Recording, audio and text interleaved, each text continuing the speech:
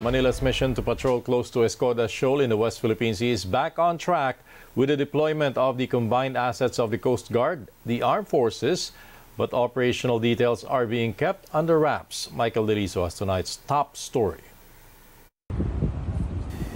Nearly a week since the return of the Philippine Coast Guard's largest vessel, the BRP Teresa Magbanua, to its home port in Palawan, the National Maritime Council on Saturday said replacements have been deployed to maintain the country's presence and monitor China's activities in Escoda Shoal. The deployment consists of combined assets of the PCG and the Armed Forces of the Philippines. But unlike before, the Philippines is keeping details of the patrol mission confidential, including their area of operation and number of ships as part of a new strategy. Mas maganda nga yung ano eh, nahuhula sila kung saan. Kasi pag alam na kung nasaan, doon sila pupunta eh. Men yung parang magnet siya, ano? So that is our approach na hindi as much as possible na hindi natin i-reveal kung nasan sila. Ray Powell, director of South China Sea Monitor Sea Light, says he cannot see any Philippine ships at Escoda Shoal. However, he admits the Filipino vessels could have turned off their automatic identification system or AIS to avoid getting tracked.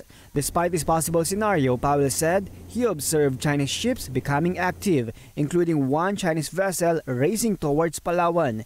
Eight additional Chinese maritime militia ships have also left China's military base in Panganiban Reef. Their expected destination is Escoda Shoal. Chinese ships have been swarming the area even before the BRP Teresa Magbanwa cut short its Escoda mission. Maritime security analyst Chester Cabalza agrees with the Philippines' new strategy. Labanan ngayon to ng mga strategiya, labanan ito ng operasyon. So, hayaan lang natin muna na gawin ng uh, Coast Guard natin yung uh, dapat nilang gawin para lalong lumakas yung kanilang pwersa. Cabalsa also expressed support for Manila's decision to maintain independence in its missions despite a U.S. offer to provide escorts. Sagot natin ito. Problema natin ito. Mm-hmm. Hindi kinakailangan na iasa natin sa mga kaibigan natin itong problema na ito. Mas maganda na ipinapakita natin na lumalaban tayo.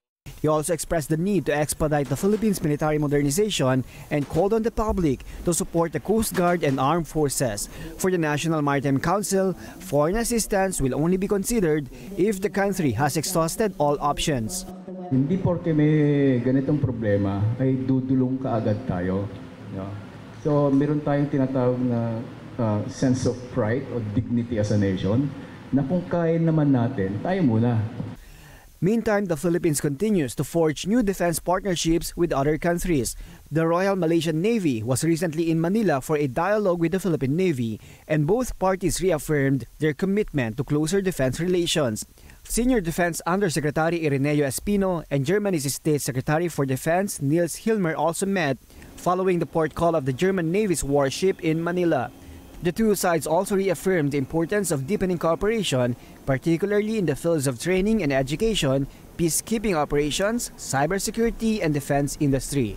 Michael Delizo, ABS-CBN News. The House Quad Committee vows to show the alleged connection of dismissed Philippine Mayor Alice Guo and Pogo Representative Cassandra Ong to criminal syndicates in the next hearing. Another suspected Pogo personality, Tony Yang, is also expected to appear before the joint House panel. This report from Jeffrey Hernaez. The House Quad Committee is set to present a matrix allegedly linking former Bamban Tarlac Mayor Alice Guo and Cassandra Li Ong to Pogo operations and the Chinese triad in the next hearing. According to House Committee on Human Rights Chairperson, Congressman Bienvenido Abante Jr., they have documents to support these claims. Ilalabas namin yan at the proper time. Pero Apo. most in the matrix, no, are either Chinese or Filipino-Chinese. At kasama dyan si Cassie at si Alice Goo that claim to be Filipinos. Pero sa amin pong pag-aaral, si Cassie po ay hindi po yan Filipino. Chinese po siya. Lawmakers say they will dig deep into the alleged connection of Go and Ong to criminal syndicates, such as the Chinese Triad and Fujian Gang. Last Thursday, the Joint House panel questioned why many of Go and Ong's business partners are from the Chinese province of Fujian. Tingnan na ng either ng Chinese Triad yan o ng Fujian Gang to answer the, the, the way that they answered. So kung may allegation ka, ilabas mo para hindi nasisira yung pangalan ng tao kung wala ka ng ebidensya. Meanwhile, Ong's lawyer accused the lower house of abusing its powers after issuing a second contempt citation against his client. Eh bakit sila pong mga mambabatas ang lumalabag sa batas? I want to remind them, sila po ay mambabatas. Hindi po sila ang batas. They could be able to invoke that uh, the right that they have, Ong's camp has previously filed a petition asking the Supreme Court to compel legislators to acknowledge her right to remain silent or refuse to answer questions. Many personalities are expected to appear in the next hearing, including Tony Yang, the brother of Michael Yang, who is a former Duterte economic advisor. Congressman Dan Fernandez says Yang owns several businesses connected to industrial steel and rice importation. The older Yang also goes by several names including Yang Jianxin and Antonio Lim. May mga hawak kaming dokumento na siya nagtatago ng mga pera. No? Uh, to the tune of about 8 billion pesos. Siya ang nagtitimon ng mga young brothers. Yang remains in the custody of the Presidential Anti-Organized Crime Commission after being arrested at Naiya last Thursday. Meanwhile, Myla Roque, the wife of former presidential spokesperson Harry Roque, fired back at Congressman Robert Ace Barbers, who linked her to Pogo operations. She called the lawmaker an abusive individual. She also claimed of malicious interpretation when she submitted her medical records. Mrs. Roque also said Barbers cannot label her family as broken. A show cause order was issued against Mrs. Roque for failing to attend the Quadcom hearings. Meantime, Barbers, the overall chair of the Quadcom, denies abusing his immunity from libel. Barbers, who is also chairman of the Committee on Dangerous Drugs, explained Mrs. Roque was not linked to Lucky South 99, but only her husband. Her name, according to Barbers, cropped up in the hearings because she was the one who signed the lease agreement to a wanted Chinese IT expert. The Chinese fugitive was later arrested at a property leased by Biancham Holdings and Trading Incorporated, which is owned by the Roque family. The lawmaker also clarified the issue on Mrs. Roque's medical records, noting that the documents she submitted was unclear on the health issues she was facing. For barbers, if the Roque couple has nothing to hide, they should just attend the Quadcom hearings, be transparent, and open all their cards. Jeffrey Hernaez, ABS-CBN News. Philippine National Police says dismissed Mayor Alice Guo would likely be transferred to the Pasig City Jail on Monday. She was originally scheduled to be brought to the facility on Friday, but it did not push through due to incomplete paperwork. Yung mga supposedly mag-examine po sa kanya at uh, magse-certify po doon sa ibang mga test po ay uh, ay uh, wala na po kasi almost uh, past 9 time na po ata yon nung uh, nadala po siya sa hospital po kaya they have to wait for the uh, some papers po. So ang stand po ng PNP nung hindi po matapos tong mga proseso po na ito ay uh, they have to return first the warrant of arrest issued by RTC branch 167 The Pasig City Regional Trial Court ordered the transfer in connection with Go's non-bailable qualified trafficking case. Jail authorities assure the public Go will be treated like any other detainee. Criminal charges are eyed by the Philippine Justice Department against the lawyers of dismissed town mayor Alice Guo. This would be over discrepancies in the documents they submitted in relation to the complaints their client is facing. Justice Undersecretary Nicholas Ty says a team has been formed to look into possible administrative or criminal liability of Guo's lawyers. He's also not ruling out a case of disbarment. That's clearly a very serious concern for us. The submission of fake documents in our proceedings. It's one of the things that's being considered, but we have to realize that disbarment is quite a very serious result. So disciplinary proceedings against lawyers can result in many things. It can result in something as, as serious as a disbarment, as minor as an admonishment. So right now we're just open to anything. We're looking into what's possible out there, and we're going to take action in due time. Former Vice President Leni Robredo responds to criticism sparked by the surprise House visit of Vice President Sara Duterte, is known for cutting remarks against opposition figures. Katrina Domingo has details. Everyone is welcome. This is what former Vice President Leni Robredo said a day after she hosted Vice President Sara Duterte and other high-ranking government officials in her home in Naga City. Kasi pag Peña Francia dito sa amin, wala namang kulay ng politika tinitingnan. Walang, walang partido, politically neutral dito lahat. Lahat na pumupunta para kay ina ay welcome dito sa amin. Other officials who visited Robredo include Interior Secretary Benhur Abalos and Senator Bong Revilla, two politicians allied with President Ferdinand Marcos Jr., Robredo's rival, both in the 2016 and 2022 elections. Robredo explains their family has always been welcoming politicians from different parties every feast of the Peña Francia, a decades-long practice which began in the late 80s. Mula naging mayor yung asawa ko 1988, Ah, ganito, ganito na. Um, every time na may bisita yung naga, na si ina, yung, yung sadya, very much welcome dito sa aming bahay. But this kind of hospitality did not sit well for some of Robredo's supporters, as Vice President Duterte has once labeled her predecessor as a fake vice president, while her family has been taunting the opposition leader for years, while their patriarch, Rodrigo Duterte, was still in power. Former Senator Antonio Trillanes is among Robredo's allies who questioned her decision to entertain Duterte, noting that the Davaoeña politician has repeatedly disrespected opposition figures in the past. Trillanes says it was wrong for Robredo to even meet Duterte, as the former vice president allegedly allowed herself to be part of her successor's propaganda. The office of the vice president earlier released a statement saying Duterte was invited to take part in the Peña Francia festivities this weekend.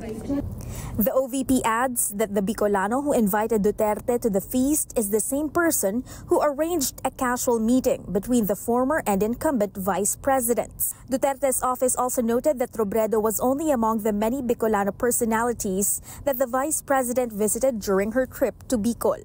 Political analyst Edmund Tayao explains it is difficult not to paint Duterte and Robredo's meeting without a splash of political color, especially as Robredo stood as the main opposition figure during the Duterte administration. Even if you're attending fiesta, there has to be a reason why you're going to go out of your way to meet a political leader. One can only think that the objective is political, perhaps to explore some kind of understanding between the two of them and uh, perhaps see if uh, the opposition can uh, find a way to act together. When asked if it is possible for Duterte and Robredo to set aside their differences and broker a deal for the upcoming midterm elections, In Philippine politics, it's not uh, always about political parties. Anything is possible, uh, uh, to be honest. Meantime, Robredo spokesperson says politics was not part of the conversations in Naga and that Robredo's hospitality towards the sitting vice president only proves the Bicolana leader's class. Katrina Domingo, ABS-CBN News. The anniversary of the martial law declaration in the Philippines met with protests by groups who say similar rights abuses continue under the Marcos Jr. administration. Andrea Taguines reports. The youth, women, labor groups, activists, and martial law survivors. People from different sectors took to the streets on Saturday as the Philippines marked the 52nd anniversary of the declaration of martial law, which is considered as one of the darkest chapters of the country's history. It was in September 21, 1972, when former President Ferdinand Marcos Sr. signed Proclamation 1081, placing the Philippines under martial rule. Thousands of dissenters were arrested, tortured, and killed. Although democracy has since been restored in the country, a documentarist and brother of desaparecidos Jonas Burgos believes traces of the dictatorship remain until today. Under Marcos Jr., meron ng labing dalawang nadadukot at namimiksing hanggang sa kasalukuyan. Ibig sabihin, ang nangyari sa aking kuya no nangyari noong 2007 at nangyari sa martial law victims ng mga disappeared ay nagpapatuloy hanggang sa moment na ito. There are also those who welcome the efforts of the current Marcos Jr. administration to investigate former President Rodrigo Duterte and the killings under his watch. But martial law victim Bonifacio Ilagan isn't entirely convinced. Na yung mga nangyayaring investigasyon sa Kongreso, sabi nila, ayan, uh, nagbabago na, uh, nabubuking na yung mga kasalanan ng nakaraan without realizing na ang pinatutunguhan ng, naman ng mga ito ay para lalong ma-entrench, parang, para lalong lumakas sa kapangyarihan ang isang faction. Everything is a war between the political dynasties. In the end, the protesters failed to reach Menjola and get near the Malacanang Palace as hundreds of police officers blocked their path.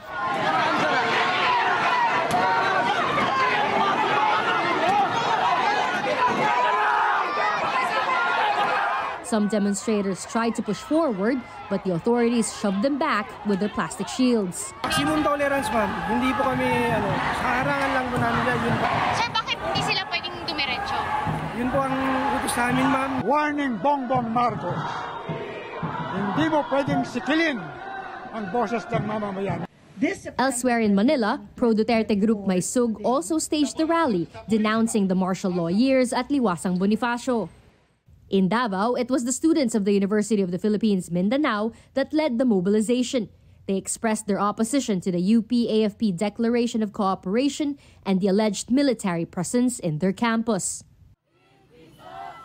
Meanwhile, in Cebu, progressive groups also mounted protest actions to condemn both the Marcos Jr. and Duterte administrations for supposedly failing to deliver genuine social justice. This year also marks the third martial law anniversary under President Ferdinand Marcos Jr., the son and namesake of the former dictator. And just like the previous years, Malacanang has stayed silent on the issue. Andrea Taguines, ABS-CBN News. Former Philippine President Rodrigo Duterte insists he has no bad blood against his successor. He spoke Friday at a convention of his political party PDP Laban in Davao City. Duterte acknowledged he may not always agree with President Marcos, but his only appeal is that Marcos governs without favoritism. Duterte's comments come amid the widening rift between his daughter, Vice President Sara Duterte, and Mr. Marcos. Earlier this year, Duterte accused Marcos of illegal drug use, an allegation that the president simply laughed off.